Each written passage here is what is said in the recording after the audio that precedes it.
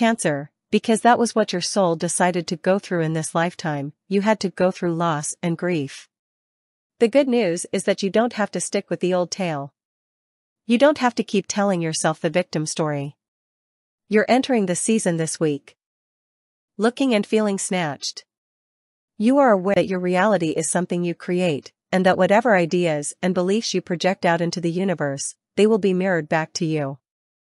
Lucky number 9. Orange is a lucky hue.